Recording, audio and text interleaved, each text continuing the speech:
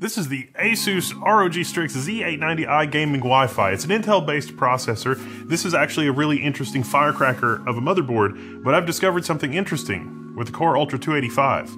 Not the K, not the K, the non-K Core Ultra 285, which was kind of a stealth launch, a weird stealth launch. So I've put together a test system based around this motherboard, but first let's go on a tour of this motherboard and then let me tell you what I found.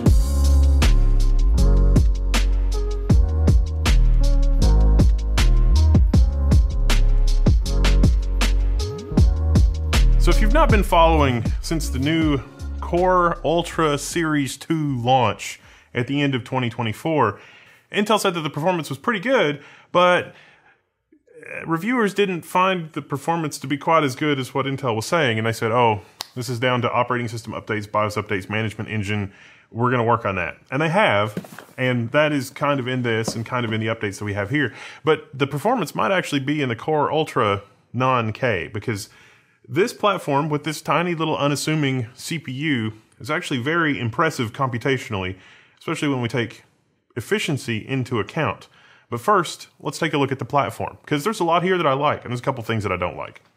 So the ROG Strix Z890i gaming Wi-Fi is from Asus. It's kind of one of the high-end products from Asus. They really put a lot of thought and engineering into this. This is an ITX board. It is designed for small form factor builds, and yet it's pretty overclockable in terms of power delivery. You can still get those Core Ultra 9 super clocks in it, with the K, with the overclocking. But I think this is actually a much more interesting platform for the non-K CPUs based on the testing that I've been able to do so far. So, this motherboard in the box, what do you get? Well, you get the motherboard itself. That's interesting. But then you also get this little hockey puck thing. This is the ROG Strix Hive 2. Yeah, the Hive 2. This is a really neat USB-C accessory because it gives you USB breakout, of course. It's got some LEDs on it that are multi-use that I'll talk about in a second. You got your hardware power button, and then you got a programmable flex key. So you could hit this and go into the BIOS and that sort of stuff. There's also a volume control that works for controlling the volume on your machine, as well as a 3.5 millimeter combination headphone microphone jack. There's also a built-in Wi-Fi 7 solution, which comes with a really nice Q connector Wi-Fi antenna. That's uh, Asus's sort of quick release Wi-Fi antenna. You don't have to thread it on there; it just pops on and off, so it's easy to add and remove that. This thing also has uh, built-in cooling fans for the VRM and the M.2. So if we take a look at the board layout here, we've got two full-size DDR5 DIMM slots. That's for up to 96 gigabytes of memory, non-ECC, and clocked unbuffered DIMMs, CU DIMMs. Now, the box is already out of date. It says 96 gigs on the box, but Asus was first to support 64 gigabyte DIMMs from Kingston. So this platform will actually support 128 gigabytes. We've got a separate video on that with the Asus ProArt. You should check that out. First motherboard to support 256 gigabytes because that's a desktop board. It's got four slots. And they actually improved the clocks because it's usually really hard to use four DDR5 DIMMs with a you know a desktop class motherboard, two DIMMs per channel, but you actually can check out that video. On this platform, 96 gigabytes, pretty easy to do, 128 gigabytes if you get the right combination of DIMMs. This may need a BIOS update to get maximum compatibility because that's what we needed on the desktop boards, but that's not something that I saw in looking at this just yet. Now check out our M.2 tower here. This thing is fascinating. It's got an extra fan mount. You got to pop out two screws, and then this whole thing removes as a unit. It's got this latch that you pop loose, and then the whole thing sort of folds like a butterfly. I don't know how else to describe this. There's two M.2 here. There's a primary M.2 that goes directly to the CPU. The other M.2 also goes directly to the CPU, but it shares lanes with the X16 slot, which means if you use the second M.2 slot here, it will actually cause your GPU to drop down to eight lanes from 16. I don't agree with this design decision. This is one of the one of the things about this board that I don't like. If they had gone with an M.2 through the chipset, it would have been limited to PCIe 4.0 speeds. But with the advent of new high-end graphics cards giving us 16 PCIe Gen 5 lanes, I'm not sure that I agree with this. As I've got it set up in my test bench though, I've got the Intel Arc. That's only eight lanes. There is no downside for using this kind of a GPU in this platform and be able to use both of your M.2 at PCIe Gen 5 speeds. So it's important to get the primary M.2 to be the one where you stick your M.2 and you can see that on the manual that's marked with the brown number two here. It doesn't really go out of its way to explain that that's what's happening. I actually had to go to Asus's website and download the manual to unpack what was happening here. So I, I really would have liked if that second M.2 on the carrier card were through the chipset, even though that means that it wouldn't be PCIe Gen 5. I think that's probably okay. In terms of other stuff that's laid out on the motherboard, there are some analog temperature sensor headers just behind this breakout card, which they call the FPS card. We'll come back to that. Your USB Type C header, your 20 pin 5 gigabit header. You get three 4 pin fan headers at the top edge of the board, your single 8 pin CPU power input. You get two addressable RGB headers there and a fourth four pin fan header right there for you know your chassis or whatever you want to use. You can also use that for your M.2 fan because there is an accessory kit that will add a second M.2 fan. Now, if you look closely at the motherboard, there is actually a primary M.2 fan, a fan set up just for the M.2. And I love that because I set up our system here with the Crucial T705. This is one of the fastest PCIe Gen 5 SSDs that you can get. I've been plugging these for a long time in a lot of builds, and it's very hard to get the Crucial T705. I think it sold a little better than they were expecting, or possibly the bottom fell out of the flash memory uh, market or something. I, I don't know. But the T705 is a fantastic storage device. Let's take a quick look at the rear I.O. You got two USB 2.0 ports, HDMI out from the integrated GPU, 2.5 gig NIC. Then you've got your 10 gig USB Thunderbolt 4 port. And then just over from that, you got another Thunderbolt 4 port. And then we got three USB 5 gig port. Over from that, we got two Type A 10 gig ports. Then we got our BIOS flashback port, which is also a USB 10 gig port. And then we've got a 20 gigabit, that's 2 by 10, just below that for our hockey puck control thingy, the Strix Hive 2. And then we have a BIOS flashback button just below our M.2 fan. Now let's talk about this FPS card. This is a breakout card. It gives you two USB 2 headers, your front panel connection. There's a mechanical switch there which does some interesting stuff. You get two 6 gigabit per second SATA ports and that other ARGB header. I knew there was a third one there somewhere. Now, hilariously, mine was in the USB support drive box, which in these ITX boards from, you know, Asus, I'm used to having a USB stick. This didn't actually come with a USB stick the way that some of the other ROG motherboards did, but the breakout board was in there because the motherboard by itself doesn't have the thing and then it slides onto these two USB-C looking connectors and they're not USB-C, not even remotely, not even a little bit, but that's where the breakout header goes for this thing. So you can connect it and that works. And that's, that's a fun, interesting thing. Now this mechanical switch, this is Asus thinking outside the box and I love it. It changes the PCIe mode of the PCIe slot. So it's on auto by default, which will try to auto negotiate. If you slide it to the middle setting, it'll set it to PCIe Gen 4. If you slide it to the end, it'll be PCIe Gen 3. Could be a great way to play a prank on your friend, but really, they're thinking about people that have PCIe extension cables and things like that. So this extension cable is supposed to be PCIe Gen 4 compatible, but it's a little sketchy just a little bit sketchy at PCIe Gen 4 speeds. So if you're troubleshooting weird intermittent crashing and you have an extension cable like this, sometimes these are fine for forever and then they're not. And everything is fine with your computer stability until it's not. A lot of the time you can claw back some of that stability if you change the modes. Now there's a couple on the market right now that are PCIe Gen 5 compatible, but mostly they are not PCIe Gen 5 compatible. So if you change the switch to PCIe Gen 4 mode, the system will post. These CPUs have a built-in iGPU generally, unless you get a version that doesn't have a built-in iGPU. And yes, you could boot with no GPU installed, go into the BIOS and set the mode in the BIOS. But it is so much easier and faster to just set the mode via switch. I think some system integrators and some system builders probably would like the fact that there's a switch. They can just set the switch. They don't have to fiddle with BIOS and then they're good to go, especially if they're doing builds that involve these extension cables. But with an ITX build, if you can do an ITX build without an extension, especially if you're going to do one of the highest end GPUs, uh, yeah, you should not have an extension because your life will just be, it's just a source of headache, potentially. And if you want maximum stability, you want to avoid things like that. But it's pretty cool that it has a switch. That's useful diagnostically. So I like that. Now, let's get our BIOS updated and go on a quick tour of the BIOS because we need to talk about the Core Ultra because we need to talk about the Core Ultra 285, not K. Now, as with all new computers, no matter what you get, updating the BIOS as soon as you get your system put together is important for better system stability, compatibility, better performance, you name it.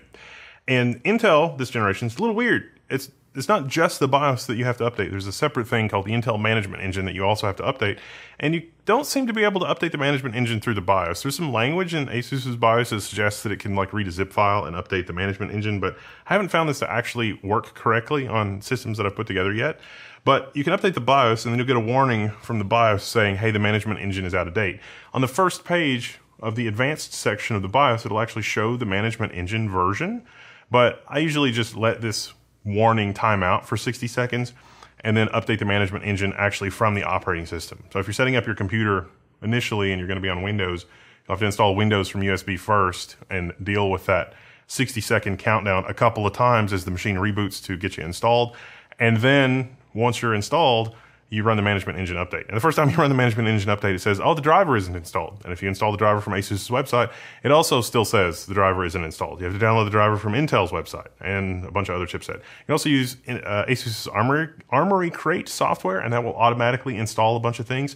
But Asus had a thing recently where they deployed a Christmas update, and it freaked everybody out because Christmas.exe is also the name of malware and uh, a little bit of a faux pas, a little bit of a like, wait a minute, why can Asus just randomly install crap on my computer without telling me? And it just randomly happened. Armoury Crate. You can disable that in the BIOS too. There's a BIOS option for that. Out of the box, PCIe ASPM is disabled, which is to do with M.2 compatibility, but hey, it works fine. And speaking of M.2 compatibility, we can see that our T705 here on the info screen is being kept adequately cool by the butterfly wedge M.2 thingy that we're dealing with, mainly because it's got active cooling. Of course, if you have an M.2 that has a built-in heatsink, that could be a little problematic to use with this setup. There, there are some crucial T705s that come with a heatsink pre-installed. Uh, you shouldn't get those for this because it's hard to remove the M.2 from the heatsink. So I think Crucial made a little bit of a faux pas there. They should have made it easy to remove the heatsink so that people could buy either SKU, but they didn't. So I'm letting you know that it's more of a pain in the butt to remove that heatsink from the M.2 than you realize. But just just so you know, Asus's other options here is basically everything you'd expect. Full support for XMP profiles, overclocking, voltage, tweaking, basically anything you could want to do. As I've got DDR5 8200 CU-DIMM running on this platform pretty stable, I did have a lot of fun messing around with that, trying to squeeze just a little bit more performance out of the Core Ultra 285 non-K for gaming reasons uh, be sure to look for that in, in, the, in the next video in the series when we get the system put together in our Falcon Northwest Tiki system. But yeah, the, the BIOS has basically everything that you'd want. Oh, and if you've got a GPU that'll let you run uh, X8, X4, X4, you can totally do that. Just remember that you're not going to be able to use that second M.2 slot on the M.2 carrier because you've only got 16 plus 4 PCIe Gen 5 lanes, and Asus does not seem to have routed the other chipset PCIe lanes to anywhere that you can get at them on this board. All in all, I was happy to see the BIOS as full featured as it is, and because this is an Intel NIC, you also can boot from the network if that's important for your build or whatever you're working on. So this is the Intel reference cooler, and it's doing a perfectly reasonable job cooling this CPU, Core Ultra 285 not K. So these CPUs are actually capable of really pretty incredible power efficiency. But the K series CPUs just aren't there. But if you look at our Geekbench scores, our Cinebench scores, and even our gaming scores, baseline, we'll come back to the gaming in just a second. This thing holds its own. It is very, very close to the performance of a Core Ultra 285K. Now, Intel, for their part, they didn't really price these a lot less expensive than the K. So, like K versus not K, if you're doing a system build and you're going for something elaborate, maybe it makes more economic sense to just go ahead and get the K CPU because it's only a little bit more expensive. But if Intel had priced these a little more aggressively and you're not interested in overclocking, then you could save money getting the non-K CPU. If you're doing a small form factor build, could also make sense because you don't have the temptation and the heat output and everything else of a K series CPU.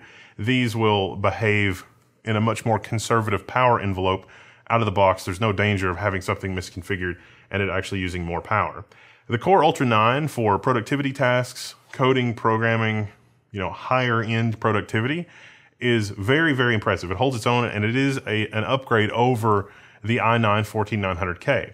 Unfortunately for Intel, for gaming workloads, right now, AMD is the leader. And actually, because of the updates to Windows, the Windows operating system, and software updates and everything else to be able to use uh, everything a little bit better. A lot of the 7000 series AMD CPUs have edged ahead of the 14th gen Intel CPUs, which is, you know, there, there's a lot of Intel fans out there that, you know, it's like, no, that's, that's a sarcosanct. That's, that's settled. Those are settled arguments. And, and yet the software has, uh, propelled us a little forward. There have been a lot of software updates for the Core Ultra Series 2 platform, Core Ultra 9 285K, since it launched late in 2024. Here we are in the first quarter of 2025, and a lot of those operating system updates and underlying software updates have benefited both AMD and Intel.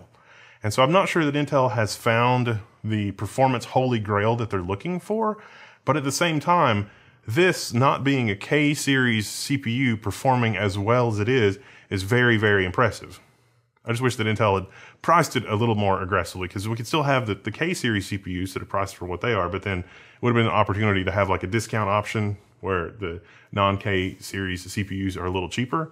But this is still a ridiculous amount of compute horsepower for the price that it is in the market. So it's impressive in its own right. Now, this motherboard is also the same motherboard that Falcon Northwest uses in their Tiki configuration.